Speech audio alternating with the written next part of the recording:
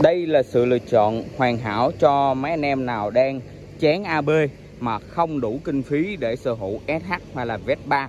Thì đây Stylo 160 chỉ tầm khoảng 75 củ khoai thôi. Thì anh em đã có một cái kiểu dáng giống như Vespa. Đó.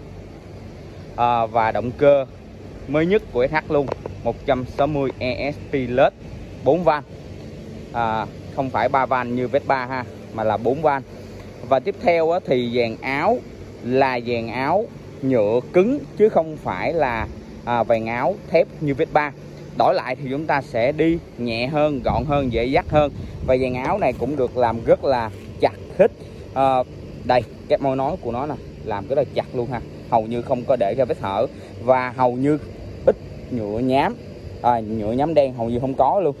SH thì mình thấy có nhiều nha chứ còn mà Stylo 160 thì không có nhựa nhám luôn. Ngoài những cái phần mà bộ phận bên ngoài dễ gãy như là về sau à, về sau nè Oppo thì làm nhựa nhám để cho anh em. À, nếu mà có va chạm á, thì cũng dễ thay à, chi phí nhẹ. Còn lại thì rất là ok làm bằng nhựa cứng à, màu đẹp. Tiếp theo thì đèn đèn được làm gọn gàng full led luôn.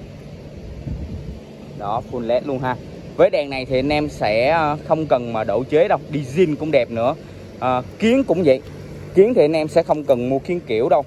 Thì ờ, kiến nó sẽ trùng với màu của xe luôn. Đây mà làm được nhựa cứng nha chứ không phải nhựa nhám nha. Đó sang trọng chưa? 75 củ khoai. À, 75 củ khoai nhưng mà anh em vẫn phải đổ xăng ở phía trong như là Vespa nè. Cớp thì nó cũng khá là nhỏ trong Vespa thôi.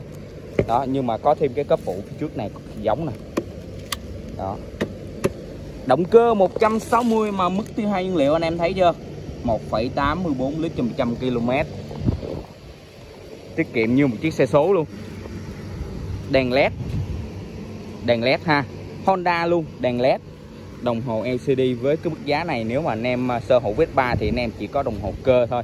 Nhưng mà đây là sở hữu đồng hồ led rồi. Nó sẽ đi đêm giúp anh em à, quan sát dễ hơn nè thể hiện nhiều thông số hơn à, và bên ngoài thì chúng ta sẽ có khóa thông minh đây trên phiên bản ABS và đặc biệt nữa phiên bản ABS thì anh em sẽ có phanh đĩa phía sau. À cái trang bị này nó sẽ ngon hơn AB tí xíu. Nên mình nghĩ anh em nào đang chán AB thì có thể lựa chọn à, mẫu này ha. À, phía trước thì phía sau thì có phanh đĩa heo Nissin luôn ha. Còn ở phía trước thì chúng ta sẽ có ABS ABS kiểu mới nhất của Honda. Bánh cũng to nữa anh em đây coi bánh to bao nhiêu. À đây. Bánh trước là 110 trên 90 anh em có thấy chưa?